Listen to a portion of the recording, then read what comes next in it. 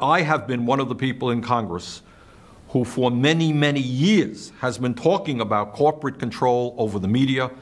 uh, right wing talk radio, uh, the fact that issues of huge consequence to the middle class and working class of this country are virtually never discussed